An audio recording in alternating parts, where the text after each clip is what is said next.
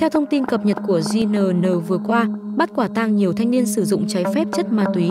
Khách sạn Anh Đào Nam bị phòng cảnh sát quản lý hành chính về trật tự xã hội, công an tỉnh và công an phường Mỹ Phước, thành phố Long Xuyên kiểm tra bất ngờ vào khoảng 13 giờ.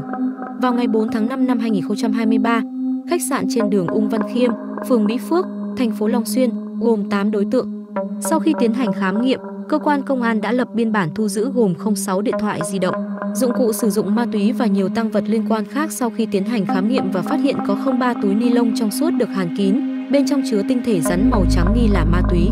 Các thanh niên trong nhóm nói trên, độ tuổi từ 25 đến 27, ngụ huyện Châu Thành và thành phố Long Xuyên.